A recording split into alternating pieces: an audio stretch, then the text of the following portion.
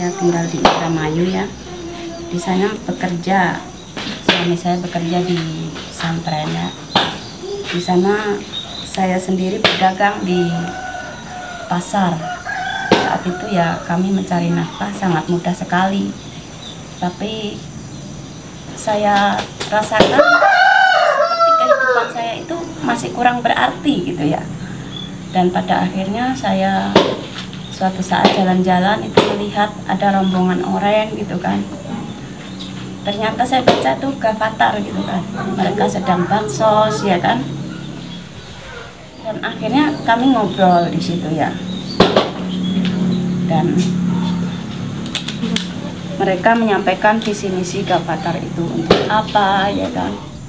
Terus saya tertarik bahwa gavatar itu ingin mengangkat kembali pancasila kan gitu ya nah di situ saya tertarik tertarik pada akhirnya saya pun ikut berjanji dengan kesadaran sendiri di situ. Janjinya pun luar biasa di situ ya. Kita tidak boleh mencuri ya dan tidak boleh berzina, tidak boleh membunuh, tidak boleh berdusta dan sanggup berbudi pekerti luhur serta berbuat baik terhadap sesama manusia.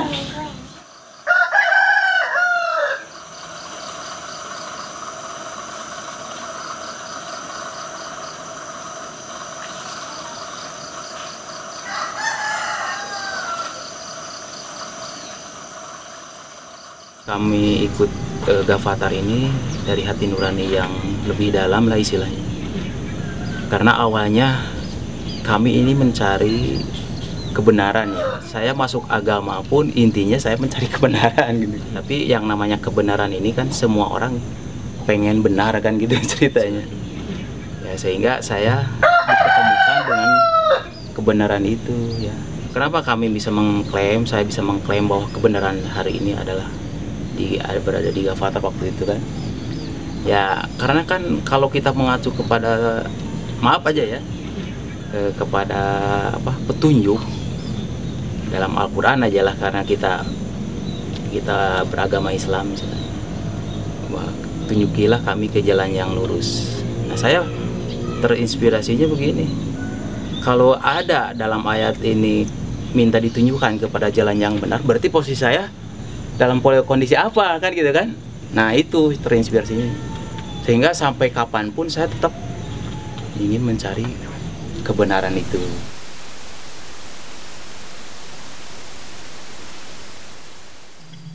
Yang ikut ke Avatar itu tertarikannya karena banyak sekali ya program-program bakti sosial gitu. Mengenai donor darah terus ada orang yang bersih-bersih itu apa saluran. Terus saya tuh menanya sama orang itu dibayar apa enggak? gitu. Ternyata oh tidak gitu. Kok masih ada ini hari kok orang yang mau itu apa kerja bakti gitu. Nah saya tertarik gitu terus saya ikut gitu lah uh, tadinya sim, ya saya simpatisan aja gitu. Kita sebenarnya program ini tidak lepas daripada ya program yang ada hari ini gitu kan dari pemerintah ini. Mengusung lah mengusung program pemerintah kaitan dengan kita berbuat baik terhadap sesama manusia. Artinya donor darah aplikasinya gitu kan. Kemudian bersih bersih itu aja programnya kemudian ada program pertanian gitu kan banyak sekali keilmuan-keilmuan yang kita dapatkan di, di dalam kata itu sendiri ya. Banyak tentang Pancasila tentang banyak sekali lah seperti lagu Indonesia Raya padamu negeri semua itu kita aplikasikan gitu. Jadi di situ saya merasa hidup gitu ya yang tadinya tidak apa kurang berarti hidup saya ini di situ mulai kita itu bahwa sebagai anak negeri ini gitu ya anak bangsa ini kita ayo kita bangkit gitu kan kita mengangkat program KKP ya Kalpatar itu ya ketahanan dan kemandirian pangan. Dan di situ kita diarahkan ibaratnya ya siapa yang mau pindah ke Kalimantan kan gitu. Akhirnya kamu ikut pindah ke sana. Ya dengan menjual motor kami yang kami punya kami jual semua. Kami total pindah ke sana ya. Dan saya terinspirasinya begini. Saya harus punya rumah sekalipun kecil tapi harus punya eh, tempat untuk menanam juga gitu kan? Nah kalau kita misalkan dengan taruhlah eh, saya waktu itu jual rumah itu dengan sisa uang tuh 15 juta. Kalau beli rumah sama, sama tanah mungkin nggak bisa kan gitu kan makanya kami sepakat dengan program tadi Kalimantan ya udah Kalimantan aja. Yang kan Kalimantan kan masih luas tanah dan bisa punya rumah dan bisa bercocok tanam gitu. Saya di sana berdagang ya berdagang ayam kripsi sama ini kita kita ini yang dagang kita suami saya di sekolahan. Kalau saya di rumah jualan ayam kripsi di depan rumah pakai estalase nah di situ ya masyarakat sangat antusias sekali bahwa senang orang sana kedatangan orang Jawa katanya gitu. Kalau orang sini nggak mau bercocok tanam. Kalau orang Jawa saya yakin nanti Mbak tinggal di sini beberapa bulan aja pasti banyak yang ngasih lahan ke Mbak bilang gitu ya.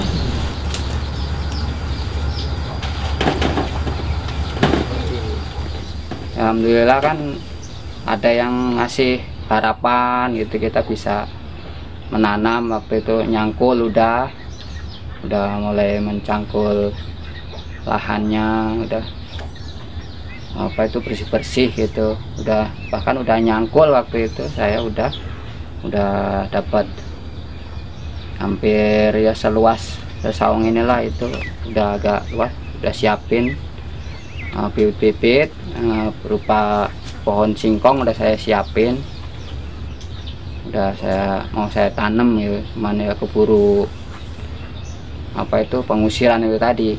Nah setelah kita di sana selama dua bulan ya kami dengar berita itu tadi di Mempawah. Bahkan saya nanya apa sih Gavatar itu? kata saya gitu. Jadi tetangga ini bilang Gavatar itu itu mbak teroris bilangnya gitu ya.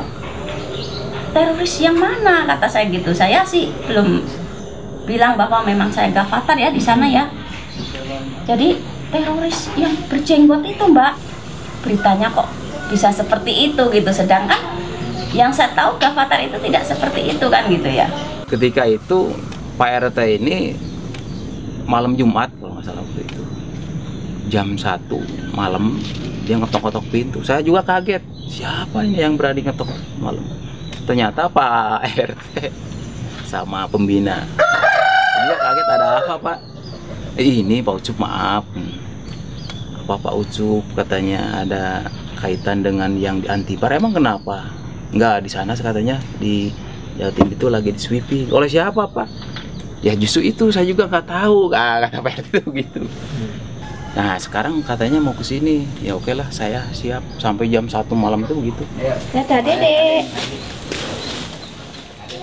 Jadi saya setelah dengar berita itu selama satu minggu mungkin, eh ternyata datang itu Pak RT ke rumah. Jadi memberikan undangan, suami saya juga diundang untuk datang ke kecamatan.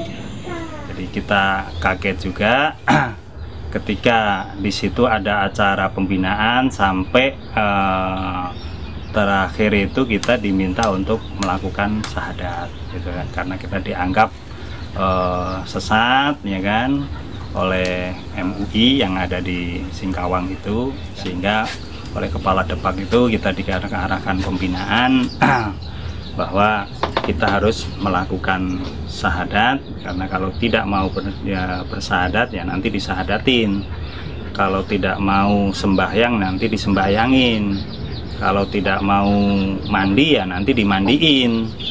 Karena Singkawang punya pengalaman menurut mereka yaitu kasus pembantaian uh, suku Madura. Pada saat dievakuasi itu pun ditangisin semua sama tetangga di situ. Sampai pak polisinya itu bilang mohon maaf Pak Tarno katanya gitu ya. Saya tahu bapak orang baik buktinya tetangga ada di sini semua nangis bilangnya gitu ya.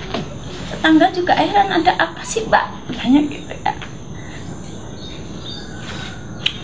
ya. Saya bilang sih yang namanya saya ini warga negara yang baik ya saya ngikutin aja lah pak saya gitu. Apa yang terjadi nanti ke depannya entahlah saya nggak tahu.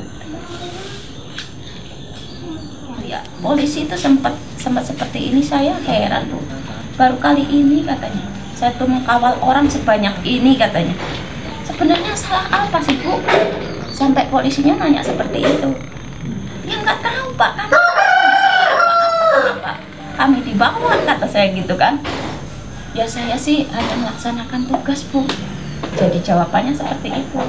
Kesalahan saya apa ini kok ya bapak ini dituduh ini ini sesat gitu ya oh gitu gitu kan. Pertama mediasi dengan apa dengan bupati Mempawah itu kejadiannya benar bahwa e, mereka ini tidak main-main ya sampai mobil itu dibakar kan. Nah setelah itu e, kami ini ya siap-siap untuk e, apa istilahnya menjagalah jangan sampai terjadi kan gitu kan. Kekerasan gitu kan maksudnya.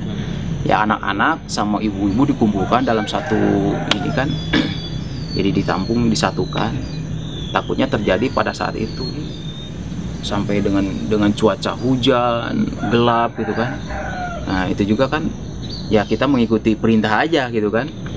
Nah akhirnya tidak terjadi malam itu cuman besoknya terjadinya itu kemudian itu dibakar semua dibakar. Pokoknya barang-barang yang ada di situ semua dibakar. Termasuk apa eh, bahan pangan pun di situ udah dibakar semua malahan Pak RT juga sempat saya Pak Cup saya mohon maaf saya nggak bisa melindungi Bapak katanya. Ya saya pun ya gimana lagi kan gitu kan. Pak RT pun sambil bilang udah nggak apa-apa Pak. Gitu. Nah di rumah itu udah ngumpul warga setempat gitu yang simpatik pada kita ya bertanya-tanya gitu. Karena mereka tidak tahu sebelumnya gitu loh. Kok tahu-tahu pulang gitu kan. Ya mereka rata-rata bersedih gitu kan uh, ya merasa kehilangan lah gitu. Ya teman saya itu kayak bang itu itu ya sempet inilah. Nggak bisa ngomong lah. Jadi sampai sekarang masih tetap ada hubungan gitu kan. Bahkan ketika dia di sini dia telepon gitu kan. Sampai dia ngasih ya pada waktu dia jenguk di Brikif itu dia ngasih ini apa? Saya sedih habis ya seperti itu. Kejadiannya sehingga kita hanya dikasih waktu dua jam itu. Dua jam. Kita belum belum ada persiapan sama sekali gitu kan. Kita harus kumpul di kecamatan ah, jam 18 dari kecamatan Singkawang Utara kemudian kita ditampung di Brigif selama tiga hari kemudian dari Brigif kita dipindah ke Pengkandam di Pontianak. Kita ditampung tiga hari juga di sana. Kemudian dipulangkan ke Jawa melalui kapal laut kapal perang yaitu uh, kapal Teluk Bone 511 di situ kapasitasnya mungkin kapal itu sekitar 400 ya. Itu lebih lebih dari 400 orang. Bahkan Abri itu yang mengkawal kita nyampe bilang ini luar biasa bu katanya. Muatan segini banyaknya kok nggak tenggelam? katanya gitu. Kalau ini nggak atas apa atas kerja Tuhan ini nggak mungkin bu katanya gitu. Itu perjalanan selama tiga hari jadi banyak juga teman-teman di situ ada yang sampai mengalami hampir keguguran di situ ya kan? Itu kemudian kita sampai di Jakarta kita ditampung di Pondok Gede dan di Pondok Gede ini paling lama kita. Jadi sampai 13 hari ya kan? Nah sampai Bunda Suratmi mengalami keguguran, keguguran. itu saya dapat kebetulan dapat lantai dua. Di situ ya. Kondisinya jadi naik turun. Pas di situ sekitar dua hari atau berapa mengalami pendarahan saya di situ ya. Dan tadinya akan dirujuk ke rumah sakit untuk dikiret gitu. Untuk surat rujukan nanti dirujuk ke daerah bu. Bilangnya seperti itu dari pihak kesehatan ya udah bu nggak apa-apa kata saya gitu ya nah tapi setelah di Cimahi kami kan ditanya setiap datang kan ditanya keluhannya apa. Keluhannya saya ini mengalami pendarahan bu mau dikiret udah saya sampaikan. Itu nanyanya pun tidak cuma satu kali kan. Besoknya dicek lagi kan gitu. Itu pun nggak nggak ada nggak ada tindak lanjutnya gitu ya.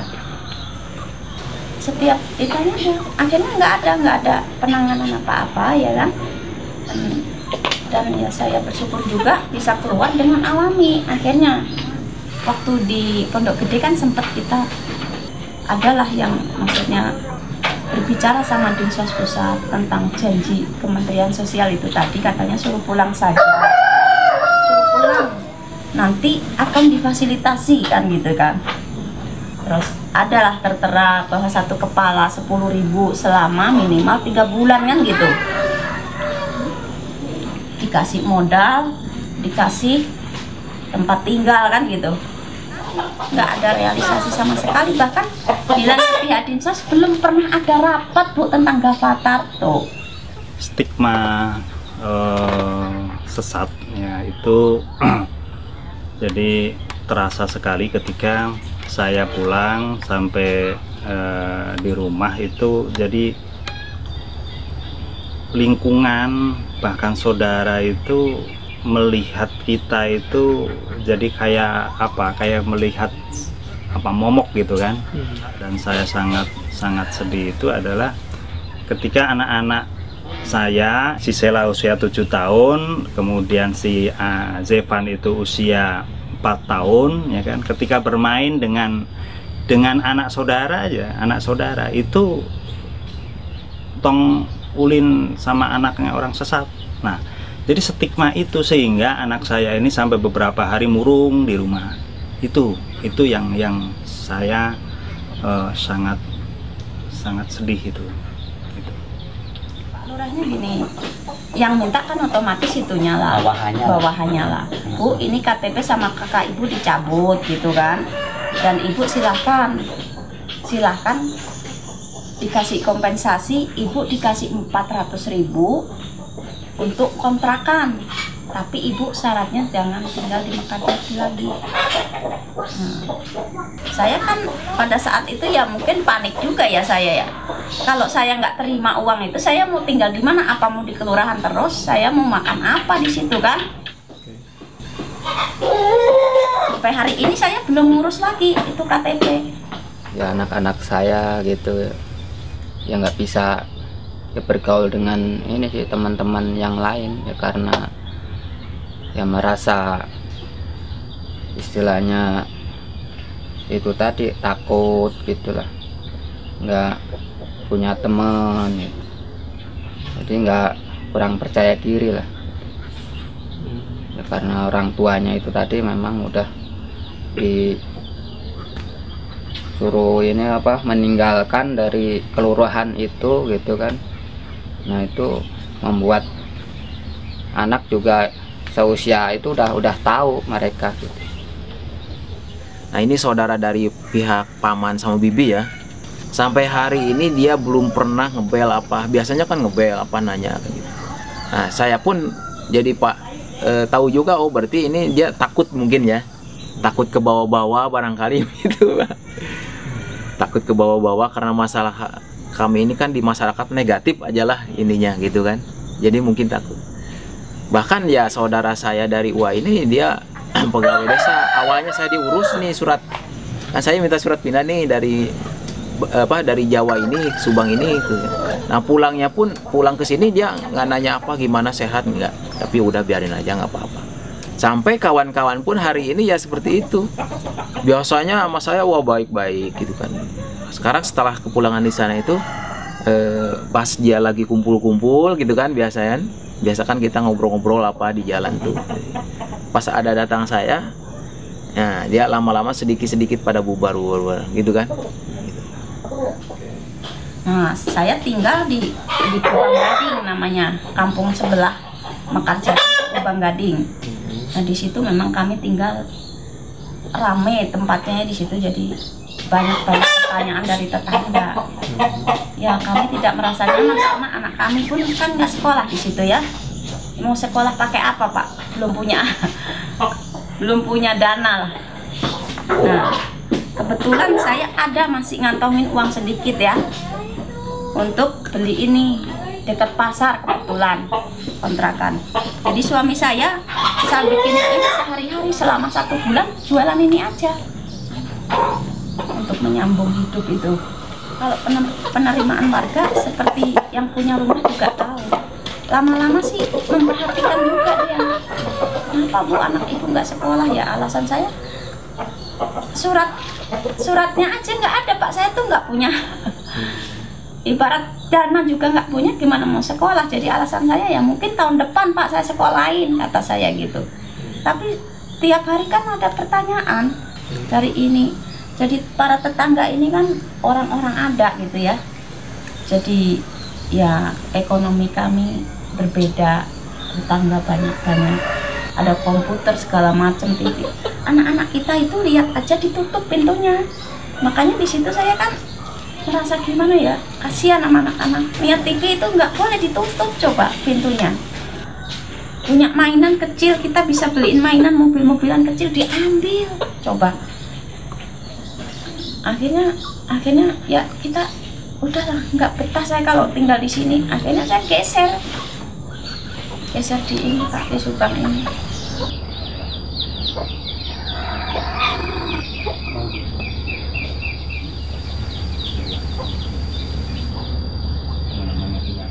kalau kita dituding atau dituduh mau mengadakan makar ya kan? Ini yang mesti da, mesti dari eh, pemerintah ini. Ini perlu perlu ada satu penjabaran ya kan yang jelas gitu kan? Artinya begini kita sebagai anak bangsa sebagai warga negara itu kan perlu tahu ya kan? Perlu tahu sejauh mana atau batas-batasan apa yang dikatakan makar itu kan itu kan. Itu. Artinya kalau kalau kami atau Gavatar dikatakan makar di mana makarnya kan itu kan. Saya terus terang secara jujur ya saya jujur. Saya dulu termasuk orang yang nggak begitu peduli dengan Pancasila. Tapi oleh Gavatar saya justru ya kan berubah cinta bahkan saya bela mati-matian itu uh, Pancasila. Nggak mungkin lah kita itu makar ya. Orang kita itu kerjanya megang cangkul begini megang arit terus bundanya juga tiap hari jualan begitu. Para megang senjata aja nggak pernah ngelihat aja nggak ada yang di sini yang jual kan. Mungkin beli aja nggak bisa kita mau beli itu mahal. Mungkin buat makan aja kan cukup aja kita alhamdulillah orang kita itu tiap hari ya minus begitulah. Mau ke nol aja susah apalagi. Jadi yang dinamakan makar itu ya kan? Itu seperti apa? Karena kita di sana hanya macul hanya dagang Dagang. ya kan? Iya. Kemudian eh, kita juga miara bebek ada 70 ekor di sana. Tapi dikatakan makar gitu kan? Bahkan kita ya kan? Eh, kalau kita pada waktu kita kongres itu kan dari ketumnya sendiri kan menyampaikan jangankan kok kita merebut ditawarin aja kita tidak tidak mau gitu kan? Tidak mau gitu.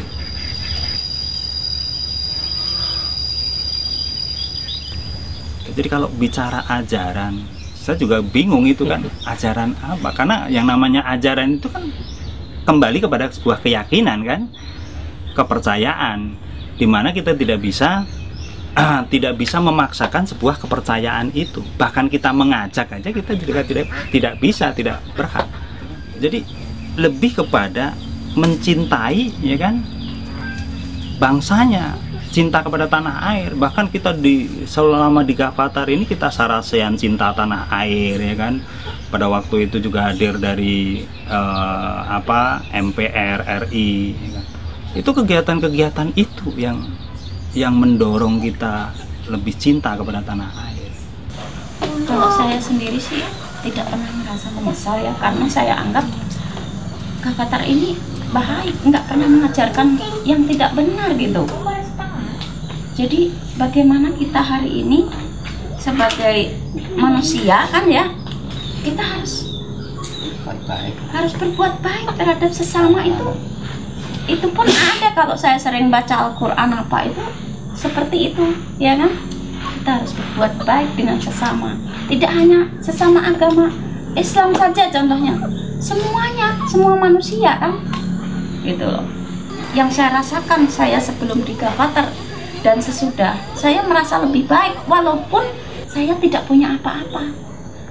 Karena kebahagiaan itu tidak bisa dinilai dengan uang dengan harta nggak bisa. Kayaknya ya bukan kayaknya. Sampai kapan pun saya nggak bakal bisa lepas sih. Yang yang jelas yang namanya saya mencari kebenaran itu dari mana pun saya akan terus. Gitu kan. Nggak bakal ini gitu. Kita sebagai warga negara yang juga taat pada warga negara bahkan kita ke Kalimantan aja kita juga membawa surat. Gitu. jadi kalau dikatakan menyesal mungkin manusiawi. Kok saya sebagai anak bangsa oleh bangsanya sendiri kita diperlakukan seperti ini gitu kan. Tapi kita mau bingungnya hari ini kita mau mengadu kepada siapa gitu kan. Karena hari ini bisanya kita ya hanya mengadu kepada rumput yang bergoyang aja